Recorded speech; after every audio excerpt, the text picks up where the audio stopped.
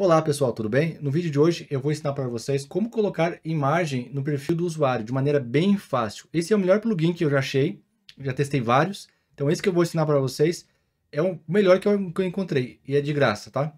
Então, é, antes de começar o vídeo, eu peço para vocês se inscreverem no canal e curtirem também, pois ajuda bastante o crescimento do canal, tá? Então bora lá. O plugin que a gente vai usar é esse aqui, ó, User Profile, Profile Picture.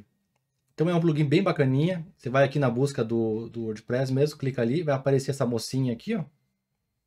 Você vai clicar aqui em instalar, né? E como eu já tenho instalado, vou clicar só em ativar, ele já vai aparecer aqui.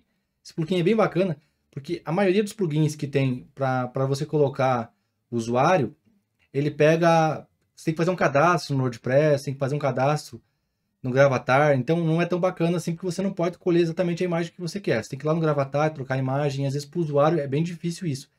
Com esse plugin aqui, você consegue trocar a imagem do jeito que você quiser. Ó, já instalei o plugin aqui, eu vou vir aqui, não precisa clicar em settings, nada, só vem aqui ó, em, em usuários, vou clicar aqui em adicionar, em todos os usuários, né? Só tem um instalado, vou clicar em editar, ele já vai aparecer aqui, ó, essa opção aqui, ó, tá vendo? É bem prático, já aparece aqui, ó, clico aqui em editar, vai aparecer aqui a minha, a, a minha parte de imagens, né, o banco de imagens, eu clico na imagem, clico em inserir a imagem aqui e pronto, já está aqui a imagem.